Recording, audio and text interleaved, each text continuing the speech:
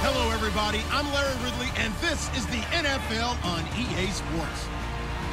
In today's game, passing may come at a cost. The Browns are top 10 in forcing interceptions, and they'll be up against the Jets, who will be testing that coverage. So for the call of this week's 17 matchup, let's send it out to our broadcast team, Brandon Gaudin and are just a stone's throw away from the Rock and Roll Hall of Fame as we get set for football at First Energy Stadium in Cleveland, Ohio. Today, we're set for a good AFC matchup between the New York Jets and the Cleveland Browns. Hi again, everyone, with Charles Davis. I'm Brandon Gaudin, and Charles, we look at this Browns ball club. They've been as hot as anyone. The win last week makes it 9 out of 10. The results are hard to argue. If there's a team better suited for the postseason right now, I don't know who they are. Meanwhile, for the visiting Jets, they were losers their last time out. They're going to try to get back in the win column, but obviously they're going to have to do that in a hostile environment. And sometimes it actually works to your advantage. Now you've got to band together your team, the us against the world mentality. Let's see if they can use it and get a victory. Here we go. The final of the NFL season, Week 17, is underway. And that'll carry over the back line of the end zone for a touchback. So now here comes the Jet offense as they get ready to take over. And they'll be led out by their third-year quarterback.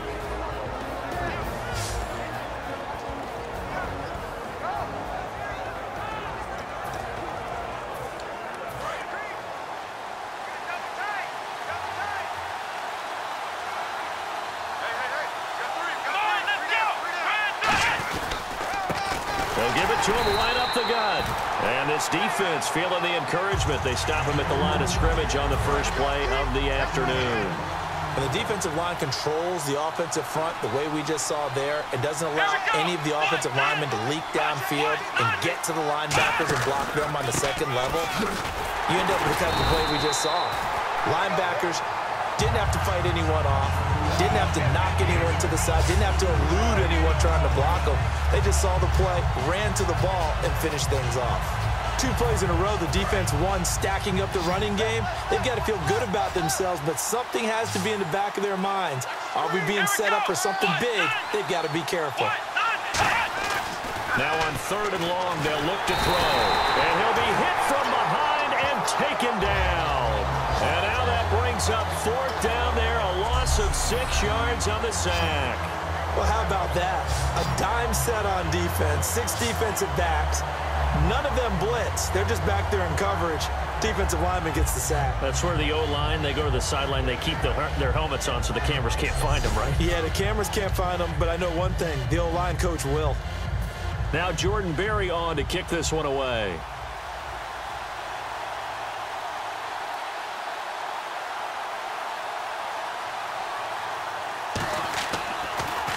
And he'll get this away into the icy winter air. And this will be down by a member of the kicking team just outside of the 30-yard line. So here come the Browns for their first drive on offense. And leading them out, their veteran quarterback.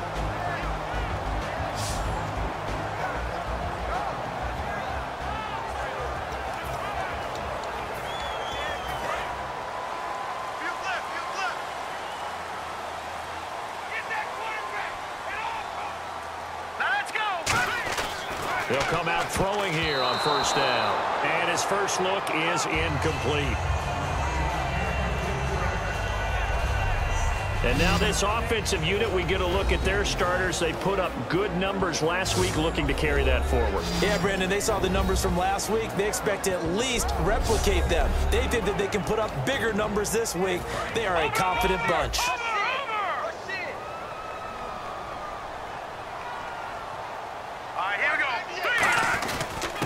And they'll try the ground game here with the running back. And he went backwards. He'll be down at the 30. And they'll lose a yard that time, and that's going to lead to a third down.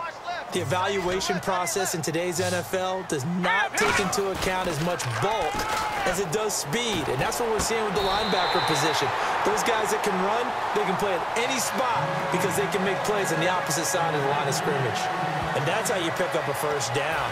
Not only does he make the catch, but has enough body control to get his feet down inbounds, toe tapping, and dragging to make sure he gets it done. Give him three on first down.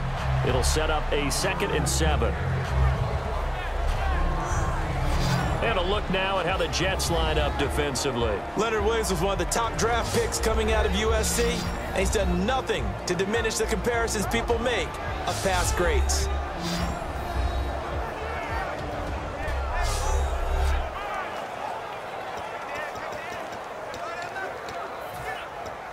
Seven yards to go on second down.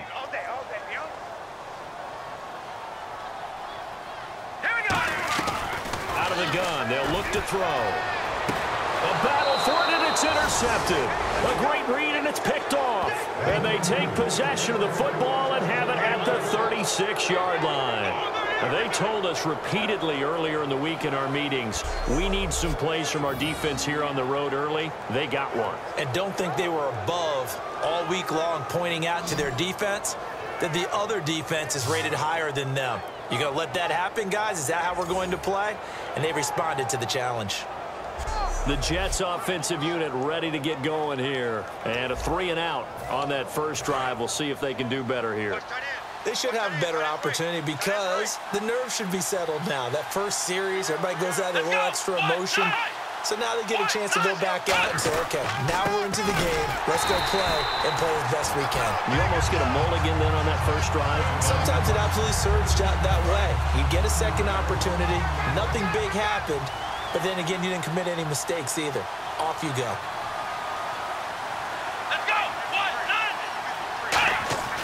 Now back to throw. Throwing left side here, and it's complete. It's a gain of 11 yards that time, and it produces a new set of downs. I think that's a big pickup for a first down because when you run a drag route against zone, you're sometimes asking for trouble because you might run into a defender. Yeah, well, there they ran into a first down, executed it to perfection. They'll run it now out of the gun. And yardage on the play back at the 45-yard line. That's going to go as a loss of a yard, and it'll be second down. And frankly, Brandon, we're talking about things I'm not sure we ever thought we'd talk about in the NFL, and a lot of that is the speed at the linebacker position. A lot of these guys in college, they were safeties. They moved them up to outside linebacker to combat the spread offenses, and now we're seeing it in the NFL. Those same guys using their speed to make plays in the backfield, similar to that one. And boy, they had high praise for this rookie receiver when we asked the coaches about him, didn't they? They certainly did, and obviously they liked his measurables, otherwise they wouldn't have brought him onto the team. Height, weight, speed, all of that.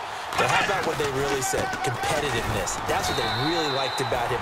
The way he goes after the football, competes for it, and decides when it's in the air, it's his and only his. And here's a look at the starting offense.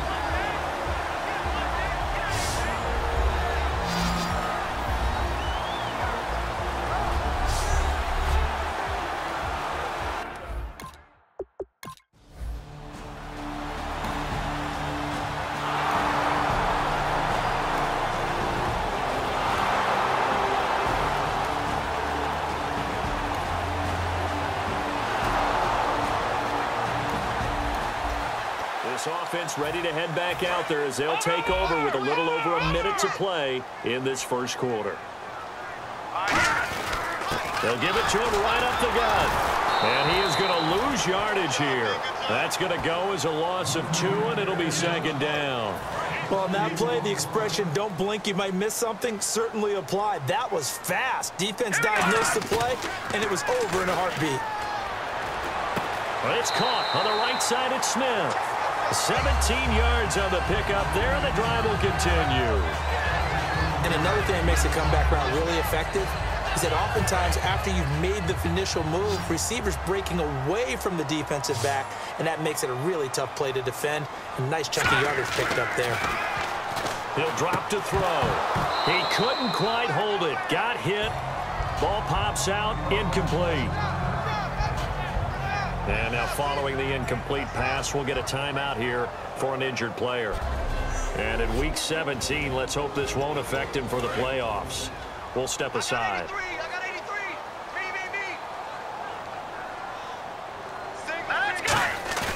Off the play fake, he'll look to throw. And he comes back with one complete. Give him 12 yards on that one. It earns him a fresh set of downs. An ex-teammate used to tell me all the time, I hate experienced quarterbacks because no matter what, you really can't hide what you're doing. And I think that right there, he knew right away where the blitz was coming from, where his primary guy was going to be, and he ended up going to a secondary target for a nice game. I was just going to ask you, that wasn't the primary target, and he's so good at that, isn't he? I think he knew right away that he wasn't going to get to his primary guy. I think he read that as soon as he got to the line of scrimmage, knew where the pressure was going to come from, and said, ah, I know how to beat that, and that's what he did. Now they'll throw here out of the gun. Over the middle to Smith. Four yards on the completion, and it sets up a third down.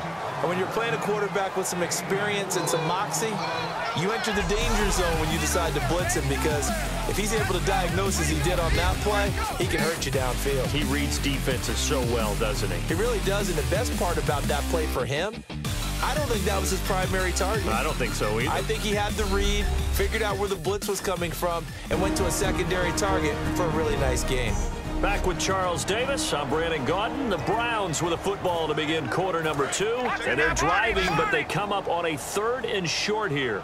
And I see an extra defensive back on the field. Little surprise here on third and one. They'll run it now out of the gun.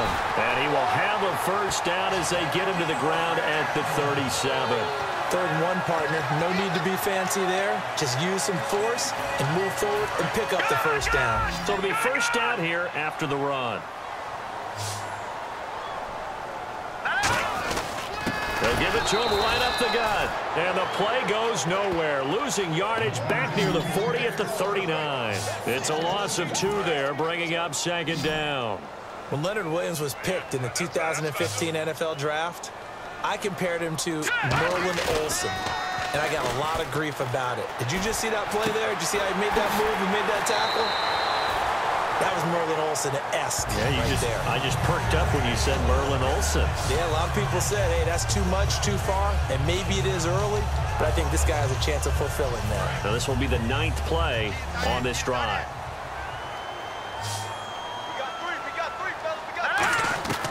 From the red zone now, they'll look to throw. And he will find his man on the outside. And he'll take it into the end zone for a Browns touchdown. Their big-bodied receiver with his 16th touchdown of the year. And the Browns are able to cash in for six. As a former DB, you might not like to see that, but from a wide receiver's perspective, those are the plays they dream of. Correct on both counts, all right? Because once he took off, I mean, let's face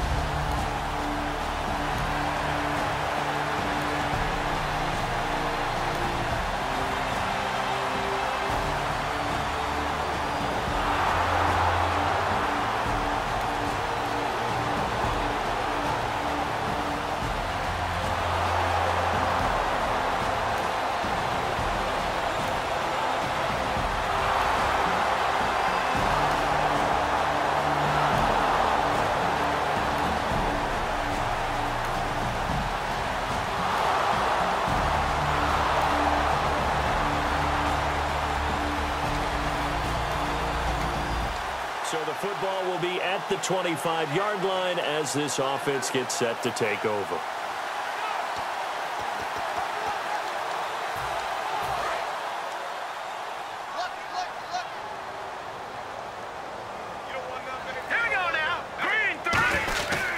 And he'll give it here to his running back. And he powers his way up past the 30. He'll get a nice chunk there on the first down run, and it's second and four. First play of the drive, let's give credit all around. Excellent blocking, but the guy carrying the ball, he was the finisher. A really nice run.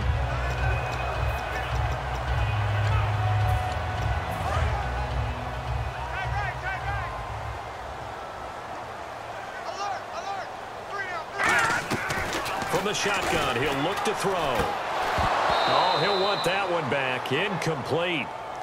He doesn't drop too many in that department. Third down. We know it's not an easy job to go out and catch passes when people are trying to tackle you and knock the ball away. But the bottom line is that's a pass he's got to have and a pass he should have caught. Out of the gun now on third down.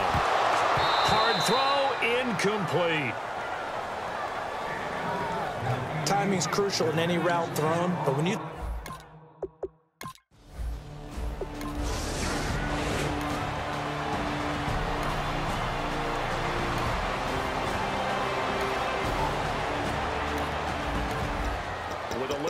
two minutes to play in the second quarter, the offense gets ready to take over.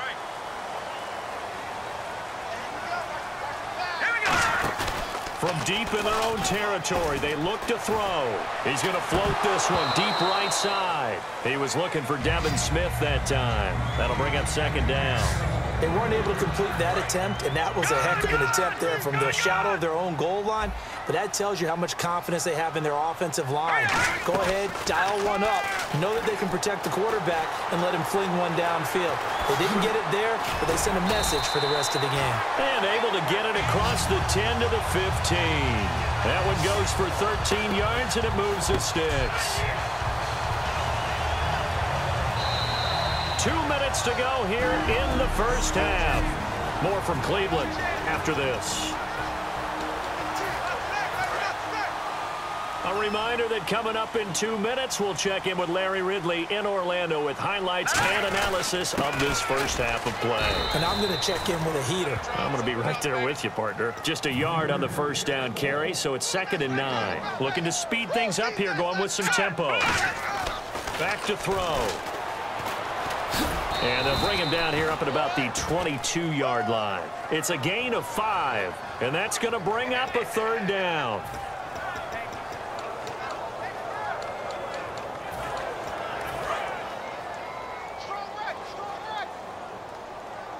An extra defensive back in the game now here for third and four. Out of the gun, they'll look to throw. And he's got his man on the out route. And they get 10 yards there and convert on third. And Brandon, from our time in college football, where receivers weren't running the traditional NFL route tree, one thing they did learn, find open areas, find soft spots, and set up and catch the ball. And I think we just saw that there. Yeah, we saw that indeed picking up the first. Oh, he's got a man wide open, complete. 10 yards on the pickup there, and that'll be good for a Cleveland first. Love the call by the offensive coordinator, recognizing the situation very well, calling for the play-action pass, and completing it. They'll look to throw now on first down. But it's caught on the right side. It's Smith. And he's taken down, but not before he gets this into enemy territory across the 40. Well, they have the yards anyway, so they're going to decline the penalty. So here we go, first and 10 now.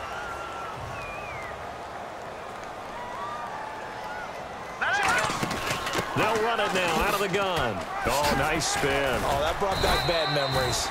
A solid run on first down. Gain of seven leaves them with a second and three. Three yards to go on second down. This drive is turning into an extended one, and, and the guy carrying the ball, he's becoming more like a body blows guy. Every carry is putting some damage on the defense. So after a while, I'm... Now whistles come in. We're going to get a timeout here by the offense. It's just their first, so they'll have two remaining here before we get to halftime. Watch right, watch right. Watch right, watch right.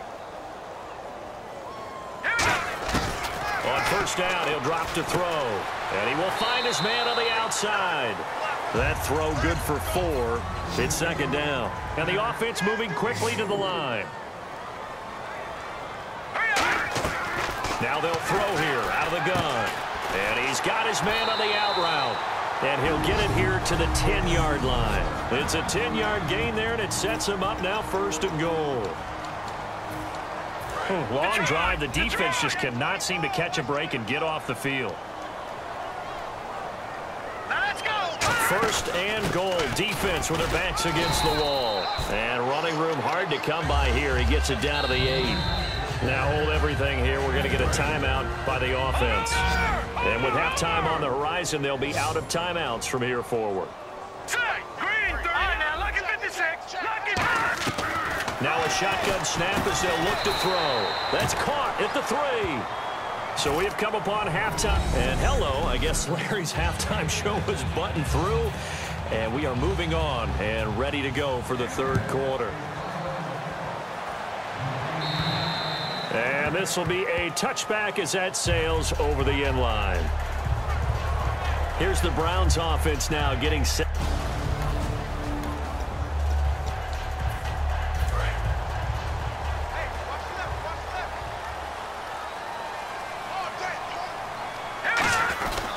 They'll give it to him right up the gut. And he'll get this one up to the 26. Credit him with a one-yard gain there to make it second and nine. And after the play on the ground, that brings up second down here. Tough day, tough sledding right there, and it's been that way the entire game. Not a whole lot of room to ramble for him. Yeah, you're right. It's been that way all afternoon. Didn't get a whole lot better there. Yeah, they're going to get this one all the way out across the 45. Partner, this is one of the best routes anyone can have in their offensive playbook. Tough to defend because you think it's a go route, and then he breaks it back on the comeback. There's one other thing you need as well. A well-thrown ball. Exactly right. Galvin Kyle has some precision in throwing the football because of the timing of the route. And it pops free. The collision there jarred the ball loose and brings up second down. Second down now after the incompletion. After watching him drop that slant, I can hear my old coach's voice ringing in my ears right now. You can't run with the ball until you catch it. Trying to get those rack yards before he secured it. A nice job to get eight there after the incompletion, and now they'll look at a third and two coming up. And that looked like some pretty easy yardage there right up the gut. And he's a guy that has some height to him, so when you don't have to drop a shoulder or create or get through contact or trash, makes it a lot easier to stay upright, see the field, and make a run as we just saw there. A good pickup there at 22 many times we see it. I still get a kick out of watching quarterbacks and receivers do the pass trick in pregame warm-up. But I always remember that when we go to practices, we see that after practices as well. They really tune it up, don't they? They tune it up. They know why they do it for these situations. First down. And, and he'll take it into the end zone for a Browns touchdown. It's their quarterback. His second touchdown of the afternoon. And the Browns have taken the lead. So a design run all the way, and he took it the distance. I don't know that anybody saw that coming.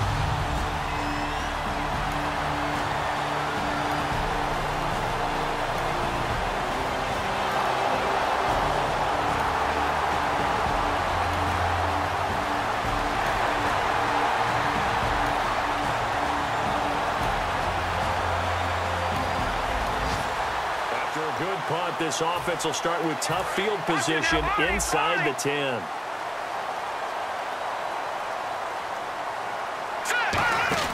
They'll run it now out of the gun. And nothing doing. He's immediately taken down at the line of scrimmage. Just a yard on the pickup there, and it'll bring up a second and nine. That first down play, all you want to do is wedge out any type of space and try and create enough room if you have to run the punter out there, he can successfully complete the punt. Yeah, didn't get a ton there, but at least some positive yardage. Yeah, and he's able to get most of what he needed on the carry there. Seven yards on the gain, and it's third and two now. And once again, leverage wins. The offensive line, lower than the defensive front, they moved them and found some good space for the guy carrying the ball. The Jets will bring in a nickel set as they try to stop this third down. Now back to throw. And he will find his man on the outside. It's a nine-yard gain, and it keeps the drive moving.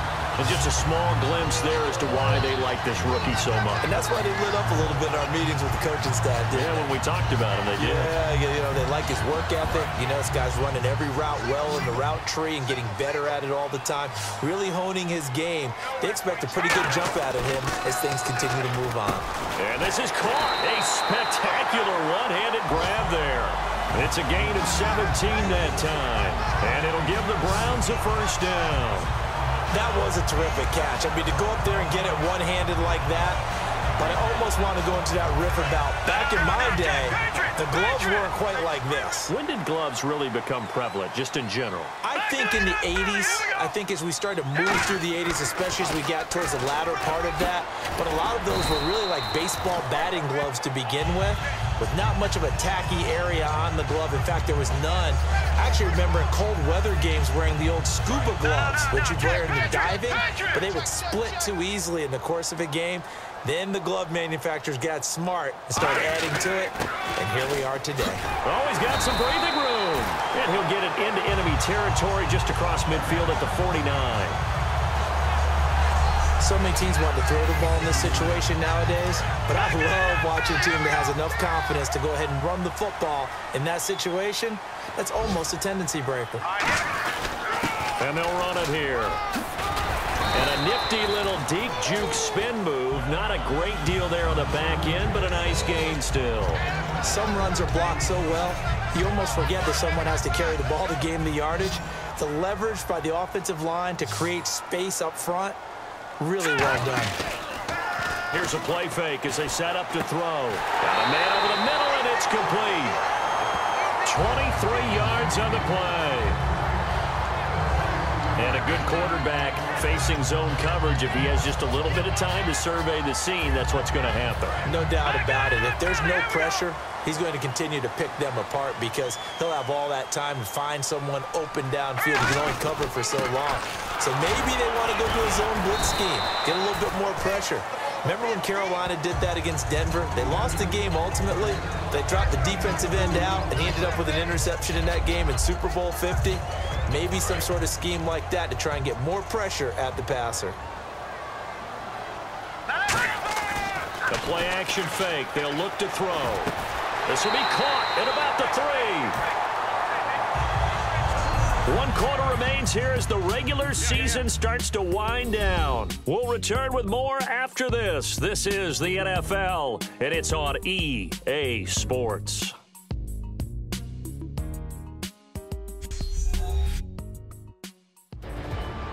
Back now here on EA Sports.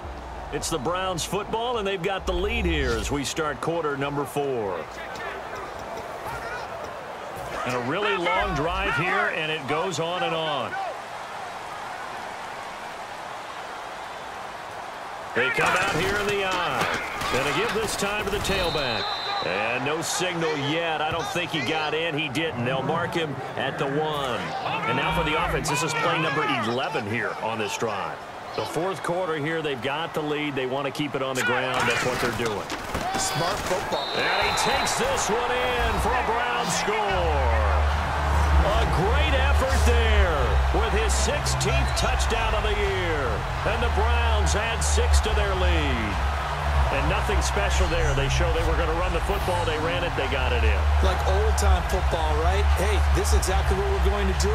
Straight ahead power, and they got it.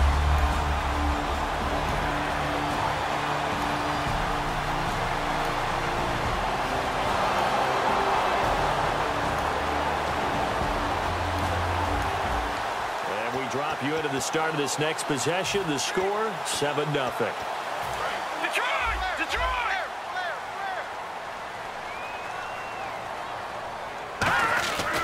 And they'll go with a ground attack here. And a few little style points on the juke, but not much room to maneuver after that. A couple of Jets there in on the stop. See if they stay on the ground for second down. And in this situation with the lead fourth quarter, they're liking keeping the ball on the ground, I'm sure. That's just smart football, but you know the defense has to do it. He'll be taken down. The Jets get in there for the sack. Call it a loss of five, a big sack to bring up third down. Now, that was just absolute perfect man coverage. Nowhere for them to go with the football. Led to a sack. And that's really difficult to do in today's NFL with all these gazelles running around that you're trying to cover in the secondary. And he's got his favorite target yet again. It's complete. And he's taken down, but not before getting this across midfield and just shy of the 40. Now as we look down, it appears we've got a Jet shaking up on the play. And this is certainly not what you want to see in the final week of the year. We'll be back.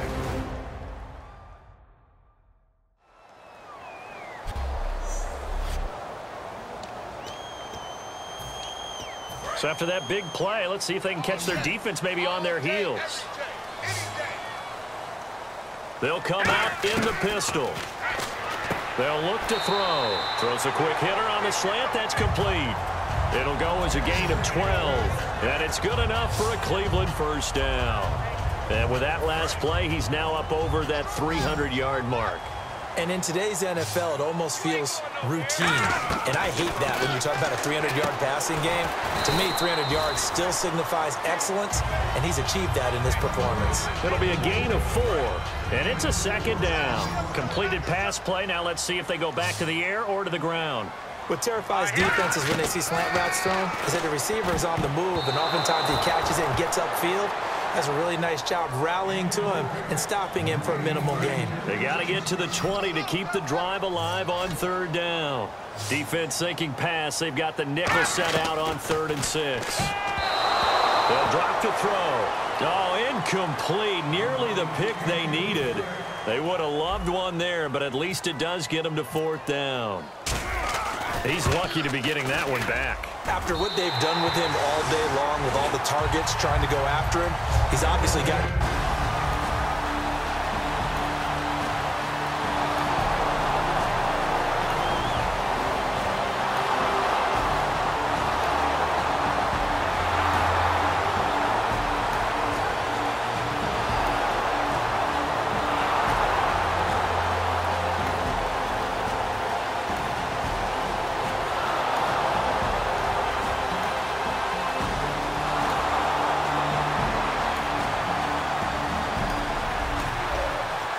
football will be at the 25-yard line as this offense gets set to take over.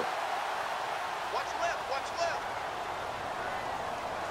Let's go one more. They'll come out throwing here to start the drive. And he's got his man on the out route. Give him 18 on that one. And that'll be good for a Cleveland first. Remember how much we enjoyed watching him last week? It's the same thing this week. Look at those numbers. I'd hate to be a defender right now because no matter what they're throwing at him in terms of coverages, he's finding ways to defeat it. And even when he's covered, he's not covered.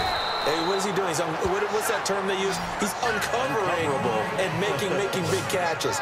Really fun to watch. Simple slant route and part of a really nice hard throw by the quarterback. Nice timing between the quarterback and the receiver. They were perfectly in sync, and he put it right on him on the inside route. Now a handoff here to his running back. And this one goes nowhere. Losing yardage on the play back at the 46. Time for a break. We're back to see what happens after this.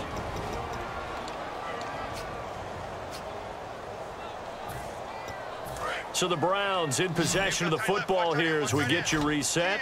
They're facing a critical third down now as they try to hold on to this lead. They'll look to throw here. And he'll be hit as he releases it, and that'll fall incomplete. But, partner, anytime someone tells me that fundamentals are leaving the game, I'm going to show them this play because they couldn't get to the passer. So what do you have to do? Get your hands up in the passing lane, and they batted it away on a third down attempt. Yeah, yikes. Terrible kick headed straight for the sidelines. And this one will not be returnable as it sails out of bounds. The New York set to take the feed.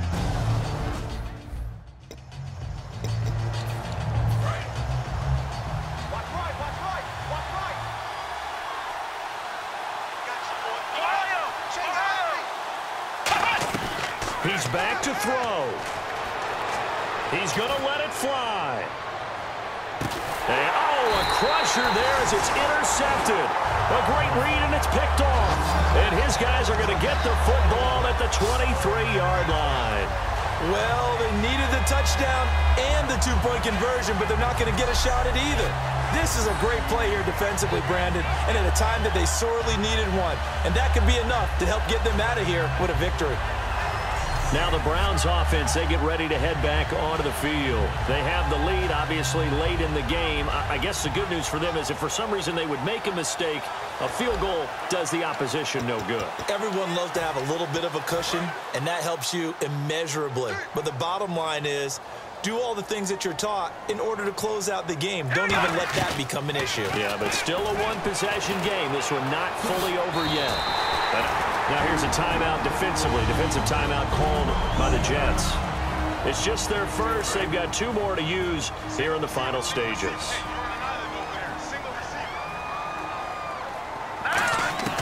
Now it looks like he'll throw here. Oh, there's that man again. It's complete.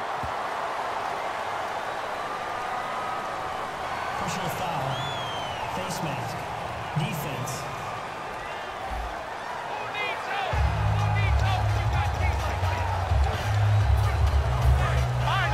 On the outside, they're playing press coverage. All right, here we go. They'll give it to him right up the gut. And he'll be brought down. Now the Jets are going to burn another timeout. That'll leave them with just one remaining in this fourth quarter of play. And a new set of downs here after picking up the first on the ground. And he'll give it here to his running back. And he's brought down. Play is stopped here. Timeout. It's the defense calling the timeout here. That'll be their third and final stoppage here as we step aside. Going to give this time to the tailback. And he'll work his way inside the 30 now to the 28. A nice run there, nine yards, and it'll be second down. I know you're trying to wring every yard out of a run, but I think nine yards there is ideal in this situation. Yeah, now next couple plays, you only need one yard. Keep that clock rolling with a lead here in the fourth. Yeah, what you're saying is maybe if it takes you one or two more runs to get the first down, that's extra time, extra plays, really hurts the team on defense. Holding. Offense. So there you go, holding by the offense, and that'll push them back. Changes everything now as you try and figure out what your playbook has for you. Longer yardage situations, tougher to execute and pick up first downs. Back to throw. His throw incomplete. When you see passes knocked down by those guys I call the frustrated fullbacks, the linebackers, you know that in their zone coverage, they were able to drop, see the ball thrown, and react to it very quickly. On play action, they'll throw. And that is incomplete. It's always tough for the guys throwing the football when they think they've got a completion and the ball's almost there, and then someone sneaks a hand or two in and bats it away. And here's a big one now. Trying to hold this lead. They're going to go for it here on fourth down. Out of the gun. They'll look to throw. The open man is Smith. And he will have the first before he's brought down right on the chalk of the 20. A gutsy decision there going for it on fourth, but they got it, and that likely puts an end to this one. Indeed, it was gutsy because there's so many other options they probably could have exercised in that situation, but they bet on themselves, and it paid off. It's a 10-yard gain there, and it sets him up now first and goal. I know exactly what's going to be said about that play from the defensive perspective. What's that? That's why I tell all you guys we need more than one tackler to the ball. He broke the first tackle. Luckily enough, there were more people there to get him down. His pass caught at the four. And he is into the end zone. Touchdown, Cleveland. Devin Smith, his ninth touchdown of the season. And the Browns add on to their lead. And that touchdown should make you feel comfortable but do you really feel like it's totally over yet? Not totally, but I think you're pretty much there. Yeah, you've still got to make sure you stay with it, do all the right things down the stretch, especially on defense. But that touchdown there, you've got to feel good about your chances. Oh, I was just about to say he had missed an extra point all season, but there it is. His first miss, no good.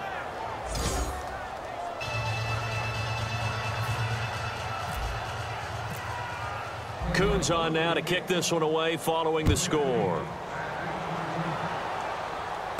It's a short kick, taken at the 15. Oh, little 360. Oh, and they're going to start this drive in pretty good shape as they get it up past the 30. Here's the Jet offense now. They head out to take over. What do you do here down like this in this situation? Do you maybe just pick something out of the playbook you haven't called in a while, or you call it a day? You can do that, or you pick something that's a staple for you and should. And oh, he coughed it up. And this is picked up by the Browns. And that might just submit it. A return for a late touchdown.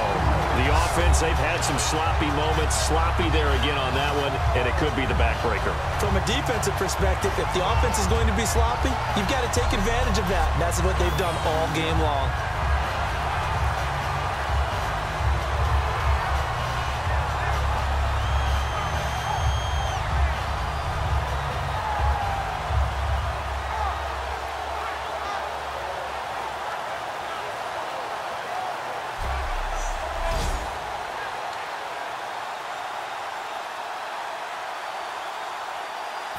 Now here to tack on the extra point.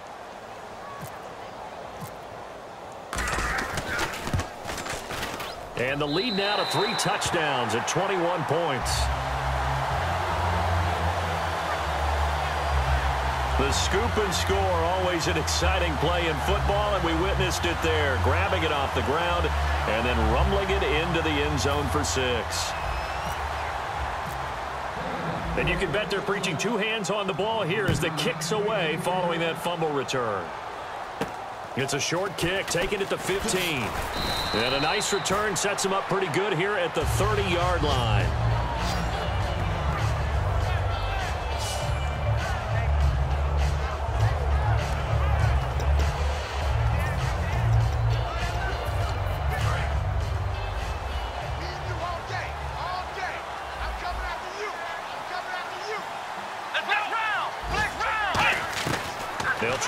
Try this drive in the air.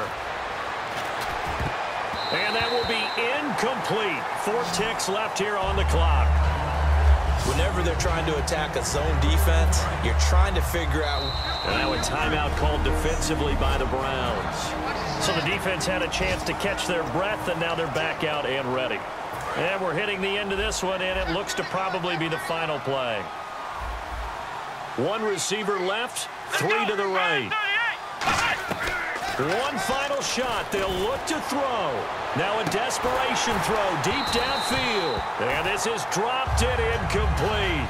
Well, there's a metaphor for how this one is gone as time has run out on this ball game.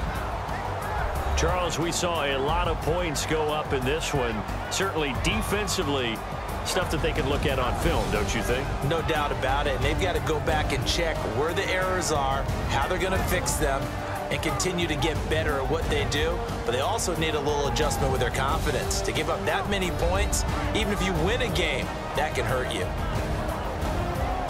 So for the Browns, it's an 11th win of the year as they'll finish the regular season at 11 and 5. And they'll be able to enjoy this one through the bye week before they get back at it again. Meanwhile, for the Jets, it'll be a 10-loss season as they wrap up 6 and 10. And they'll get the extra week to think about this one as they return to action in two weeks' time.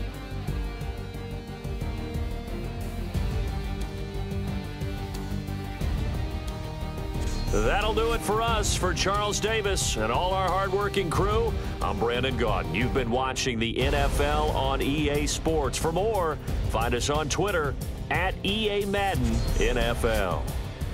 It's a win for the